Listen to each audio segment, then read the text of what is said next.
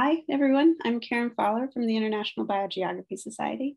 And in a few minutes, where uh, Susanne Renner is going to give her talk on why did Humboldt fake the plant data in his Tableau Physique des Andes, and what about the data in his Tableau Physique des Îles Canaries. Um, and in the meantime, while everybody joins, we're just going to give a few minutes to connect. So, and go over some upcoming upcoming other events for Humboldt Day. So firstly, thanks for joining us for International Humboldt Day, which is a series of independent biogeography focused events um, during this week and they're held around the world. It's partly overseen by the International Biogeography Society, but mostly it's led by um, independent organizers. So thanks. And just to go over a couple of the upcoming ones, tomorrow we have uh, my little pictures right over the title, is Humboldt's legacy through the eyes of Chinese historians and ecologists, and that will be in Chinese. Um, we'll record these if we can and then add subtitles for the videos on Humboldt Day channel in, in the future, but if you can join for that. And then a QA with the editor-in-chief, Michael Dawson, Journal of Biogeography. And then the 15th has one from Sri Lanka and one from Turkey and one from South America, uh, I think Chile, so, and there's a lot more events during the week. So I just invite you to check them out at humboldtday.org events. Welcome everybody to uh, this Humboldt event. And it's great pleasure to introduce Susanne Renner, Professor Susanne Renner, that today um, she gave us a, a, a good, excellent news that she became an honorary prize of the natural history in Berlin that was funded back in 1773. And one of the curiosities that links quite nicely with this event is that one of the uh, founder members was Humboldt, uh, apart from others. So I think that this uh, it's a perfect link to just introduce our great speaker today, Susanne. All for you. Thank you very much. And let me share my screen. And let me just say, I'm gonna switch off my video just to prevent any accidents here with the uh, connection, okay? Okay, so I'm very happy to talk about this uh, analysis, the second part of which is uh, entirely new data. And I look forward to your comments and questions, particularly since I know from emails that several experts on Humboldt are among the listeners today. So in my research, I have dealt with the collections of Humboldt and Bonpland for a long time because my doctoral research and also publications afterwards dealt with the systematics and reproductive biology of Melastomataceae, a uh, family that was of particular interest to Humboldt and Bonpland. I have also done field work near uh, San Gabriel de Cachoeira, which is about 440 kilometers from where Humboldt and Bonpland spent much time or considerable time on the studying the Casiquiare area. Here's me and I've published on the history of botanical exploration Amazonian Ecuador. So, so my, my interest in Humboldt and Bonpland goes back a long way. The most famous um, diagram produced by Humboldt is undoubtedly this one. And if we now focus in on the section that was marked here in the red square, we can see some of the names that are written there, namely Dactylus, Agrostis, Bromus, Panicum, Avena nivalis, a name that was never published, Melica, Stipa, Juncus, and everybody, even those of you who have nothing to do with botany, will recognize that Panicum and Stipa and Avena are all grasses or uh, families that look like grasses like Juncaceae, Cyperaceae, okay? So in order to understand what this means for a botanist, seeing these grass genera there, we will take a little brief detour four slides to the Austrian Alps. So this is Obergurgl. This is the highest little village in Austria, the highest located little village. And we walk up through the rhododendron and we walk up when we come to this grassy area, is super well researched. It's the Beilstein area. This is a Mesolithic, uh, there's research showing that this was there were Mesolithic fireplaces, people were grazing sheep. They are 9,000 years ago. And then we walk up a little further and we take a good look around. 365, 300, whatever degrees, 360.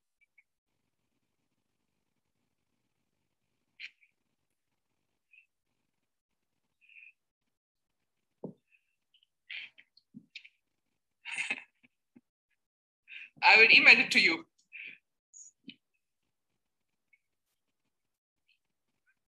Okay, now it's already more than 360. Okay, so did you see any grasses? No, because the plants that occur at such high altitudes are ranunculus, uh, saxifrages, Salix herbacea, salini type things, and other, you know, everybody who has ever been in the Alps, even if you're not a botanist, knows that there are these tiny little plants oppressed to the ground, but certainly no grasses. And this was, of course, noted by others all along. There is no mountain in the world in which grasses form the highest vegetation zone. Their physiology just isn't adapted to that kind of uh, bio, biotope. And as early as 1831, Francis Hall, a naturalist who spent several years in Ecuador and collected many plants at high altitude, felt puzzled by Humboldt's description of high altitude vegetation zones in the Tableau Physique and concluded that the reverse is the fact, as the grasslands are surmounted by the region of alpine plants, which extends to the limit of perpetual, snow, as we just saw in the Austrian Alps. And I will come back to the point of other botanists and biologists knowing full well that Humboldt did not have his species and vegetation zones straight. Why did Humboldt felt a need to fake plant names and distribution ranges that many knowledgeable people at the time must have known he did not have and did not exist, that did not exist. So of course, to understand this, we have to think about the feat that he and Bonpland and their team accomplished by climbing as high as they did on this, at that time, world highest mountain. The team consisted of Humboldt, Bonpland, and uh, Carlos Montúfar, and of course, um, illustrated here in a famous painting as a detail, unnamed uh, people bearing instruments, carrying instruments, and accompanying the team. And the most important instrument here is the sextant and the barometer for determining the height. Okay, and we know from Humboldt's diary, of which you see here just a few uh, excerpts, and this runs many pages in French, but anybody can look it up online. What, how difficult it was to climb up there, what difficulties they encountered, that it was snowing and they had to turn around, etc., etc. They did not collect plants, and we also know this from Montúfar's diary, which is much shorter, but essentially says the same thing uh, that very few plants were seen and at high altitudes, none. Okay? So how did Humboldt make his diagram? The first sketch originated when he was waiting, he and Bonpland and the team, from Montúfar, were waiting for their ship to Mexico. This was eight months after the climb. They were sitting there in Guayaquil, and he occupied himself with you know, writing letters and you know, congesting and digesting the the things they had seen and drafting this famous diagram. We see it here. And because he sent this diagram with, via Montúfar's father to José Caldas with the request to also send it on to José uh, Celestino Mutis, botanist with whom he had been discussing uh, the vegetation of the Andes over a year earlier on his way down south.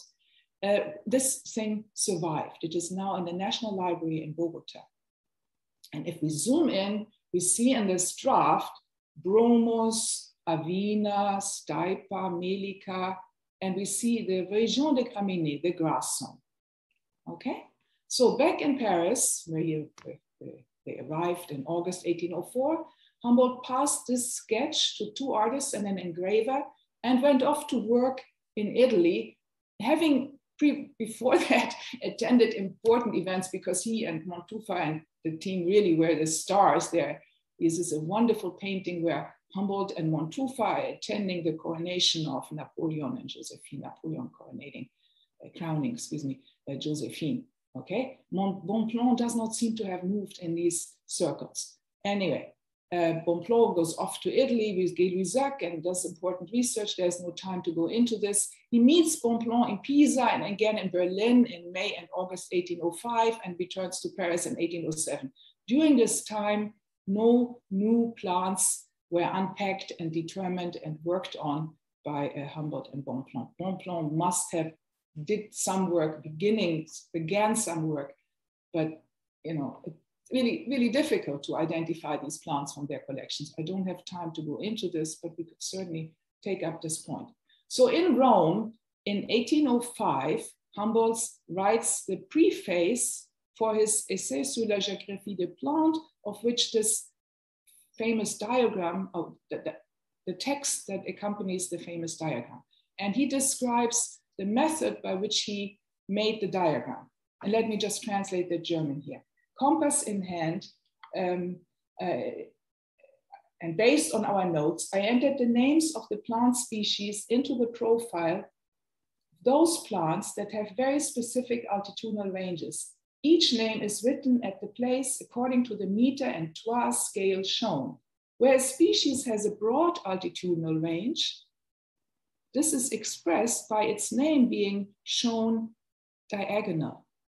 Okay? And it's super interesting that he mentions the compass here because the compass is, of course, not relevant.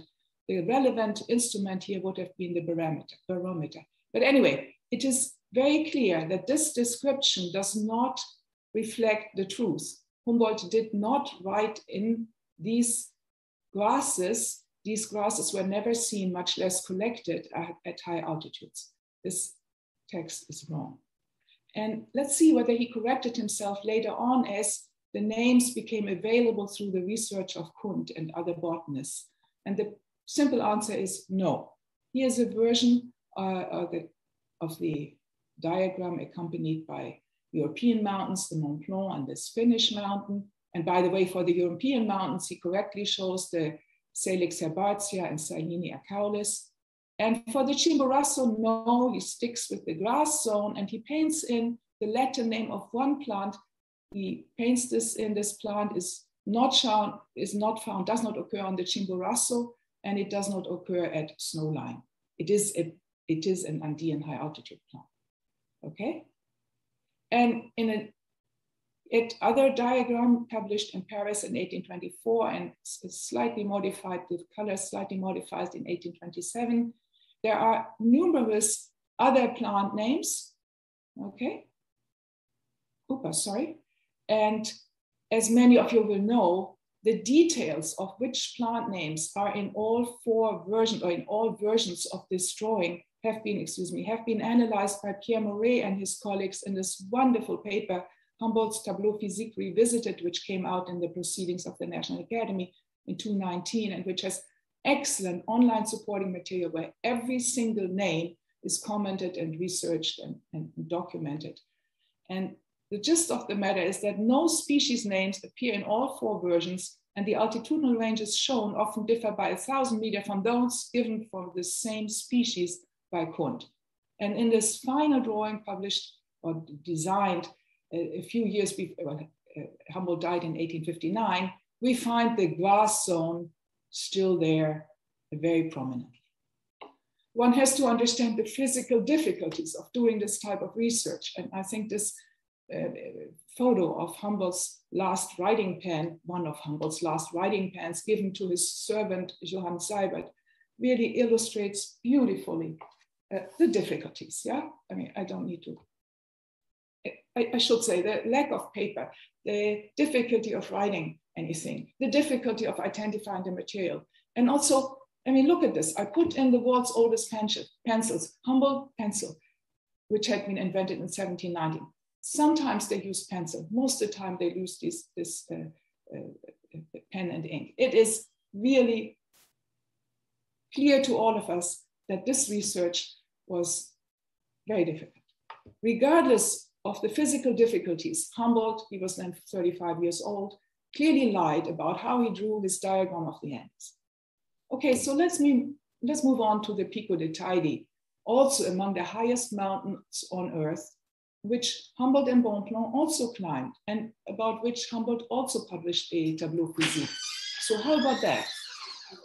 Humboldt visited, Humboldt and Bonpland visited the Teide on the 21st and 22nd of June, 1799, spent the night at almost 3,000 meters, and then the next morning at three started the hike up. They were accompanied by the French vice consul, his secretary, and English gardener, various Spanish officials, as well as local guides. Humboldt and Bonpland collected 16 plants during their week on the Canary Islands, many of them in the botanical garden, and very few during their visit to the Teide, but they did collect a key species, namely the violet that occurs at very high altitude. Here's the specimen that Bonpland collected at 3,400 meters. Humboldt also set and sketched on the spot a view of the interior edge of the crater as it presented itself in the descent by the eastern break. It is fabulous that he you know, used his time in this way and really he did look at the stones. This is all described in his various texts. He did spend time there and they did yeah, make incredibly important early observations. So how the heck did he draw this diagram with so many plant names, given that they collected one or two species on the Teide? Well, as indicated, this is Humboldt's Tableau physique uh, des îles Canaries from 1817. Well, as indicated in the legend, this diagram is based on the observations of Leopold von Buch and Christian Smith. Leopold von Buch and Christian Smith had visited the Teide 16 years after Humboldt during a six month stay on the Canary Islands. Buch made 450 collections. Sadly, most of them burned in Berlin in 1943. And Smith made 400 collections that are now in the British Museum with duplicates in Copenhagen and Oslo. And they published a, a very important uh, uh, papers in the book on their observations. Book published these three long treatises. And uh, Smith, who unfortunately died the next year, left his diary, which was uh, edited and is accepted, uh, uh, can be seen in the rare book reading rooms in Copenhagen, for instance, where I saw it. This is just a facsimile of one page. But all this was published after Humboldt's diagram, which after all came out in 1870. So how did Humboldt do it? He did it, he did his diagram, the names in his diagram, by using the correspondence that Leopold von Buch, the letters that Leopold von Buch sent him immediately after returning in October, after, I mean, sometime after October 1815. Humboldt and Bonpland were friends. They had met at the School of Mines in Freiberg in 1791. They traveled together in Italy, where they climbed the Vesuvius. They worked together in Berlin in 1806. Von Buch stayed with Humboldt in Paris in 1810. They spent a week together in Verona in 1822, and Humboldt attended Buch's funeral in 1853. And one can easily distinguish, this has now been digitized, Okay, one can easily distinguish Bonpland's writing, excuse me, Humboldt's writing and von Buch's writing. It's, von Buch is very legible. So here is an enlarged version of the one of these pages where Buch sends the upper boundaries on Tenerife, obere Grenzen in Tenerife, observed ziemlich genau, beobachtet ziemlich genau, observed quite exactly. And here is the measure and the toise and the Paris foot, and here it's the plant name. And so he mentions this violet and also the broom, the famous broom, and this material is documented by these collections. Okay? So Buch's publications mention 560 species, but his letters to Humboldt provide fewer names, understandable because they had to work up this material, right? So Humboldt's diagrams contains 223 names, 100% from Buch, from these letters, 27 of these names appear two, three, or four times and are marked by colored stars. 20 of them, it became too confusing, but I think the point, the point I wanted to make is that the uh, many names that he put in two or three times are at the same altitude. It's not yeah, okay? It's not lower limits and upper limits of that species because those data weren't available. For very, very few species did Buch, actually for two, did Buch indicate this is the lower limit and this is the upper limit as we saw it, okay? And for all the others, he essentially wrote down the name and said, okay, this is a species of the lower part of the mountain, and this is a species of the pine zone on the mountain. And Humboldt put this in correct, all right? Um, for the key species at the highest altitude, von Buch gives 3,381 meters in his letter and and, and Humboldt drew it and drew it in the diagram quite correctly, uh, I mean correctly. And for the broom, Buch indicates this altitude, 3,130, and Humboldt put it in perfectly correctly. And of the 223 species names, there is only one which Humboldt put in about a thousand meters above what Buch said where they saw and collected this plant. And this is this fescue. This fescue appears in the diagram about a thousand meters above where Buch saw it. And I think this is no chance because Humboldt had already committed to the grass zone before ever receiving the data. And as you know, Humboldt, excuse me, Humboldt essentially revolutionized uh, travel publishing, traveling literature. His papers came out at a fast pace. Here is this Relation historique in Paris, 1814. The English translation in London came out the first, the same year. The American version came out one year later. And then there are all these other papers. I just put in a few examples here, all the way to the year he died, where he, I can't say it in any different words, he, he self plagiarized a lot. He really repeated his observations again and again, understandably. And so he had committed to the grass zone already in 1814. Here, this is the English version, the English language version of 1814. In its present state, the island of Tenerife exhibits five zones of plants, which we may distinguish by the names region of the vines, region of the laurels, the pines, the retama, ratama, this is misspelled, this is the broom, and the region of the grasses. And a little later, the grasses, which in the Alps and the Andes touch immediately on the family, family, the group of the cryptogams, okay? And then later, the fifth zone, the grasses, yeah, grasses above the broom, five zones, highest one, the grasses. And so he was really invested in having this grass zone at the highest altitude, just near the cryptogams. Smith, in his 1815 diary, says that he could not find Humboldt's grass zone on the Teide. He and von Buch appear to have looked for that. They were fully aware that Humboldt was interested in having a, or had described a grass zone and they looked for it and couldn't find it.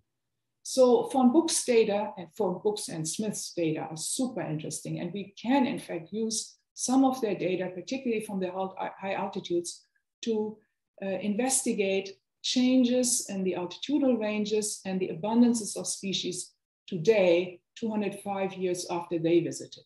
For example, this wonderful violet, von Buch and also Humboldt himself collected it and saw it at 3,380 meters. It was the highest occurrence. Today, it is at 3,700 meters.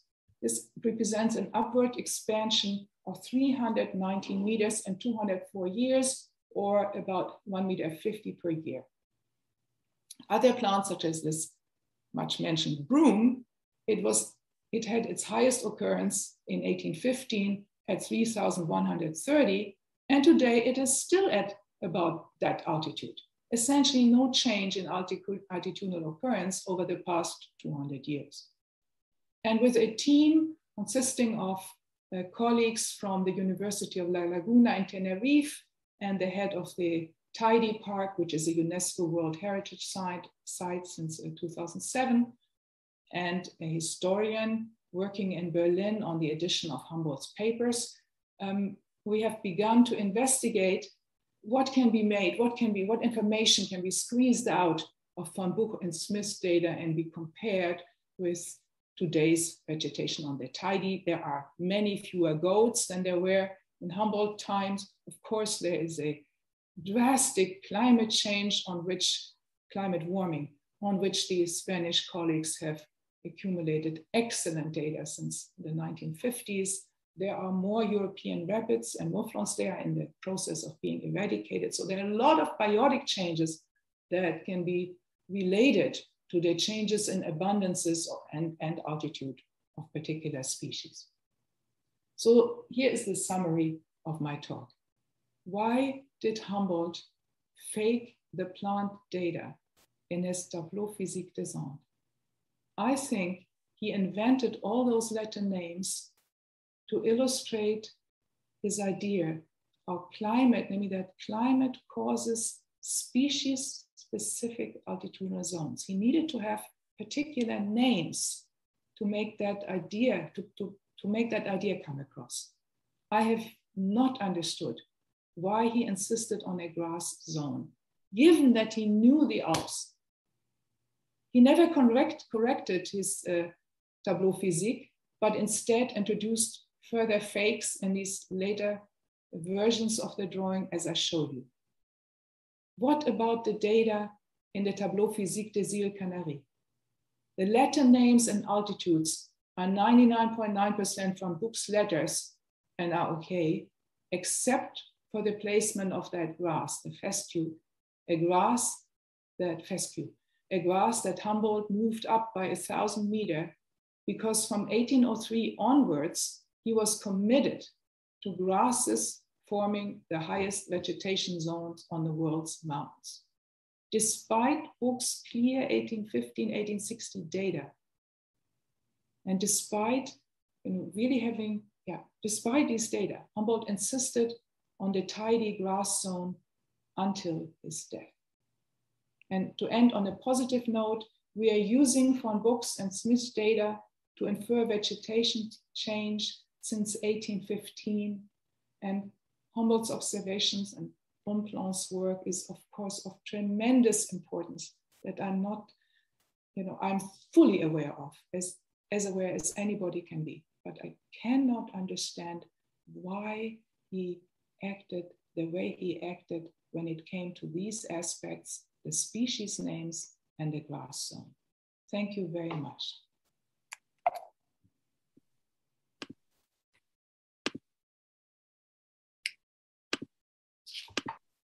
Thank you, Susanne. That was that was a really interesting talk.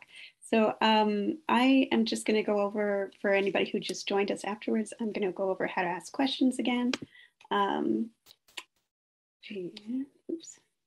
Maybe we'll share my screen quickly. So um, if you have a question you want to ask, uh, just raise your hand.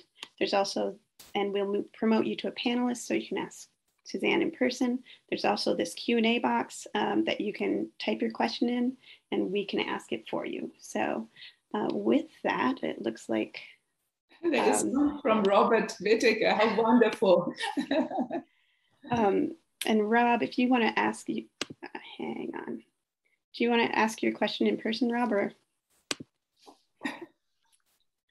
Did you say? Oh, and right now, sorry, Sita. I will now turn it over to Sita, who will um, go through the Q&As. Thank you so much, Professor, for this very interesting talk.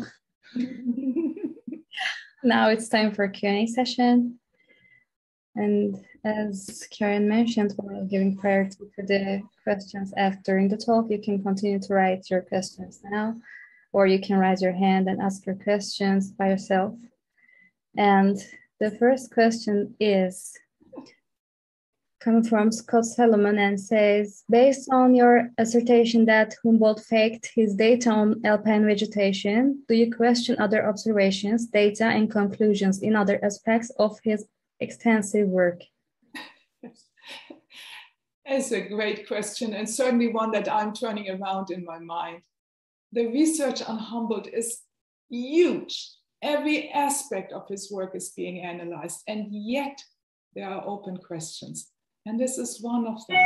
My gut feeling is that probably he also exaggerated in other aspects of his work, but I have not myself investigated. Yeah, I have not looked, nor do I want to do that. I don't want to go through Humboldt's innumerable publications and find mistakes, okay?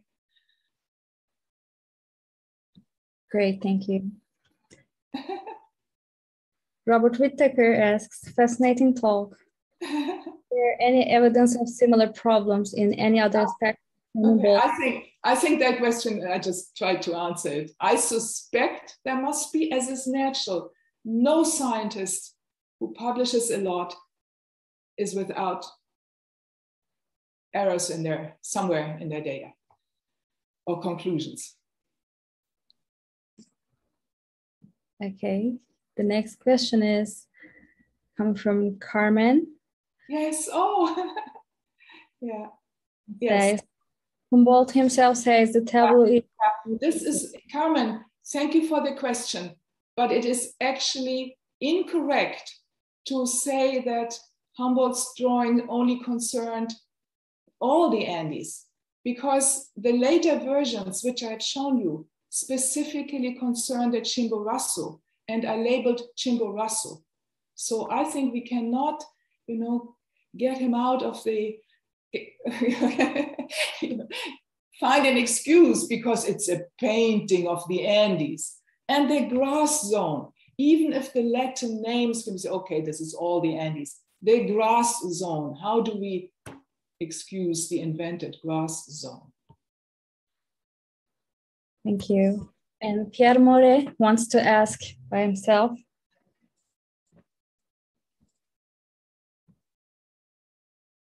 Ah, Pierre. Apologies, yes. sorry. I my my computer crashed, so I will I will move yes. over. Yeah, so nice to meet you finally. Me too. So congratulations for your uh, for the talk, uh, and I'm very pleased that you have taken up this exciting and so intriguing mm -hmm. issue. And as to your your last question, I I, I do not understand it either. Um, I don't know. I think maybe uh, Humboldt did not fake data. He made an error at the beginning. He made an error, and then he he was trapped in yes, this. Yes, yes, yes, yes. He became trapped. And there is a very interesting detail because first I found that uh, paper by Colonel Hall, who criticized this uh, inverted um, zonation and in a later, in his book on uh, Asie Centrale in 1843, um, Humboldt mentions Hall's paper, but not on that particular point. Yes. In return, he criticizes Hall just on a very, very marginal detail, an error about elevation. So he knew it, but he yes. didn't say nothing. Pierre, may I say something? This is so interesting. Von Buch and Humboldt spent much time together, as I mentioned in my talk, and they must have talked about it and about you know the zones there on the Teide. And von Buch mentions Humboldt's drawing in one sentence in 1819 in a very vague way. You know, von Buch must have known that this fescue, fescue was at the wrong altitude. He knew it and they must have, I mean, one would think they would have talked about it, but the botanists, many botanists at the time must have known there were grave errors. And I, and, Humboldt was trapped, like you say, Humboldt, self, I, I call this self-plagiarizing, this is a harsh word. He, he was trapped in his initial error and didn't want to correct himself in these two issues, the wrong Latin names and the zone.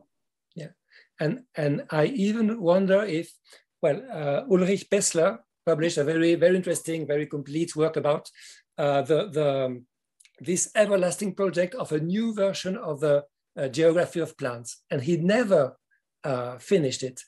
Maybe this problem, this error was so uh, was like something that that uh, prevented a, a, a full uh, completion of the, of the work. Thank you. Ulrich Päßler is one of my collaborators on this investigation of the Buch letters. Okay, it was in fact Ulrich Päßler who first alerted me to these letters. But I want to say one thing. When Humboldt was writing the preface of his Essai de Plantes, okay, in Rome in 1805, and he was claiming that compass in hand, he wrote these names, he was lying. There was no need to claim this, that this that he had set their compass. It is so interesting that he mentions the compass instead of the barometer. yeah. Anyway, thank you. Thanks a lot for the for the talk. Thank you. I see there are many other questions here. Yeah. And uh, Stefan Beck, please. Ah, Stefan, how nice to have you here in the audience.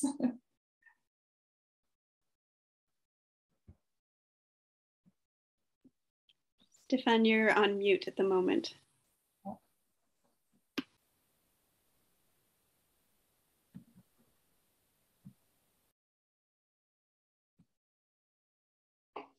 Okay, I will pick up one question whilst we wait for Stefan. Okay, the curator of the Oslo Herbarium, Charlotte Borcher, who's very interested in Christen Smith, uh, uh, asked me about the collections in the Oslo Herbarium, and I'm super interested. Our team is of, of people investigating the changes on the Teide. We are super interested in seeing as many duplicates as possible in Copenhagen, Oslo, and the British Museum. I'm already in contact with all three relevant curators. It's not easy.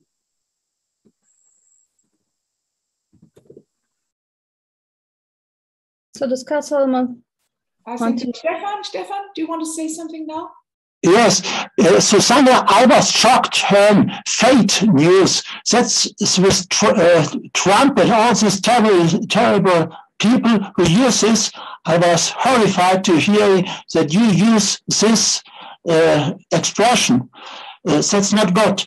And the story is the people, as you know, were walking with Gloria in the high Andes from Venezuela to Argentina, and there are a lot of process going up to the glaciers. That's uh, you have, you know about this, and uh, that's certainly okay to speak, not to speak on a grace zone. There's no grace zone, but what will you tell about zones?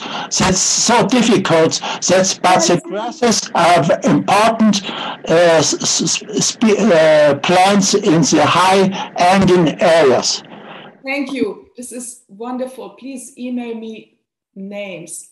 The names that Humboldt drew in there, Avena, Bromus, Melia, etc. Yes, it's and on the Friday festival are invented, okay? They are invented. And he drew them in, and we could talk about other names. I'm just focusing on the grasses because he invented this grass zone touching on the cryptogams.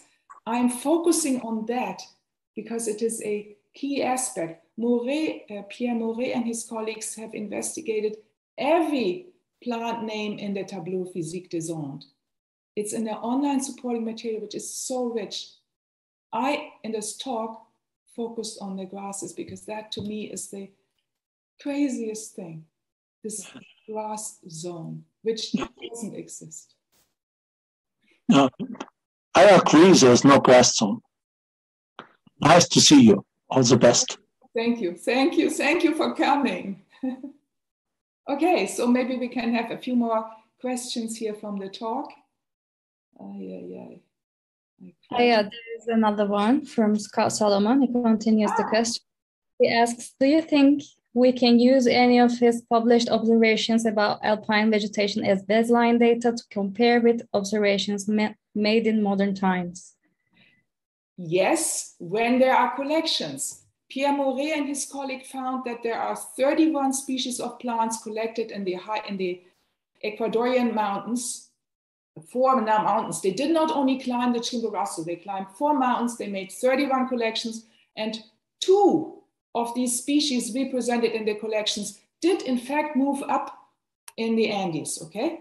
And in the Teide, they did collect the violet Viola cheiranthifolia. Uh, it is documented by Bonpland's collection. It was documented for you know, over 3,400 meters, and that can absolutely be used to infer vegetation change. Yes.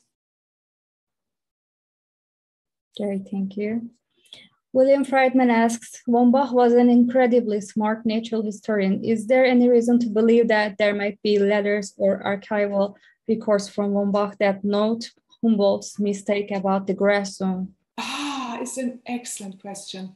So far, the digitized material, which amounts to 30 pages in the PDF, I have that, of course, and there's much duplication because the people who photographed these letters, they were turning them around and photographing the back. Anyway, so far, I, and I can read this, we can read Buch's, handwriting, it's perfectly legible. I have not found any evidence, and also in the correspondence that is accessible to me so far, I have not found any discussion, which I suspect they must have had when they visited each other in Paris and in Verona. They spent a week together in Verona. I suspect they discussed the vegetation on the Teide, but I have not found any evidence in letters and in the publications. Humboldt stuck with the grass zone until he died. Thank you. It's a good question. Andrea, raised hand. Ah, there's such, it's great to see some names here of people that I've known so long. Gerardo Aymard. Herr Daum, sind Sie doch da? Andreas, please. Good, okay. Hello. Yes. Good morning. Thank you. Thank you for, for taking my question. Let me just see. Yeah, thank you very much, Professor Renner. Um, I'm not qualified actually to ask a question because I missed most of the talk, but I did hear a previous version of it. So I, I do want to comment on it. And Susanna, it's um, you know, I'm a, I really am an admirer of yours, and I think you are right in everything you said. At the same time, there is a kind of holistic or philosophical dimension to your talk, and which may reframe the judgment that he faked or lied to us. Maybe we are expecting something that was still in the making at his time, a quest for precision. Yes, yes. A mechanical objectivity, a trust in numbers. And you notice, of course, that I'm quoting yes. colleagues yes. who have written yes. about these yes. And we tend to underestimate that there was a good portion of imagination in everything he did, even in his counting, in his measuring, and in his naming. Yeah. And we call it imprecision, but this imagine, imaginative part derived from various sources. One was his him being a mensch and a complete human being with emotions, irritations, confusions, which doesn't fit the paradigm of Humboldtian science as Kenneth exactly. but it leads us to uh, revising, I think, this very yeah. paradigm. Yeah. Yeah. And the, the, one thing you said then later, why did he maintain certain fictions? Let's call it the imaginative element later in his letters and publications. And that again, of course, is a reminder that science is a social practice. And he, whatever he did was part of a social strategy of his, which is as such not illegitimate, but it surprises us.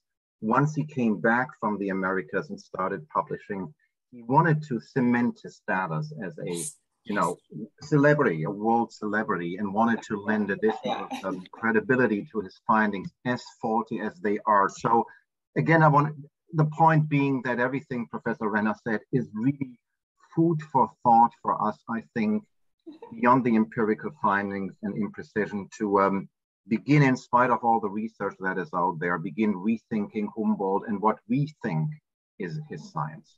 Thank you for coming. I should say for the others who are maybe still who are still listening, Andreas uh, and I interacted in Munich last year, and Andreas is working on a book on on Humboldt. Uh, Andreas only half of this talk was uh, what you heard earlier. The other half was completely new. I really did this analysis of the Teide recently. But as, of course, you are so right. We need to rethink this concept, which was called concept of Humboldtian science, which will comes from the humanities. Okay, and the humanities are not in the people working in the humanities are not in the position to check the original data. This is where the natural scientists come in, such as myself, and we need to collaborate Okay, Humboldt was not the objective empiricist measuring everything. And, you know, as you just said, there was this imaginative part, and he was less of an empiricist than the humanities have thought for, I don't know, 50 years maybe. And that's where the natural scientists come in.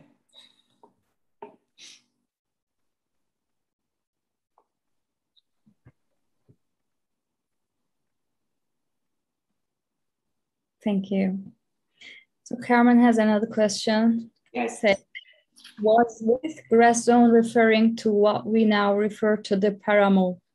Ah, this is also a very excellent question and is an, addressed in a way by Pierre Moret and his, and his colleagues. Humboldt does show Espeletia, a very famous Espeletia on the Chimborazo that occurs on the border with Colombia. But as Carmen Ulloa has pointed out, this is a tableau physique of these Andes, of the Andes. So he does show a famous paramo plant. He shows it kind of on the wrong, he shows it the Paramo is otherwise, other than mentioning Espeletia, not a big deal in his writings. But he does show a key Paramo plant in his Tableau physique des Andes. Thank you. Stefan asks, what may be the reason why that some species increased elevational distribution at Mount Teide, but not others? Ah, this is an excellent question. So of course will be the focus or a focus in our paper. The biotic reasons, such as fewer goats, more rabbits, different composition of herbivores, and the temperature, and um, you know numerous changes because it is now a protected park, which it wasn't at the time when von Buch and Smith visited or Humboldt visited.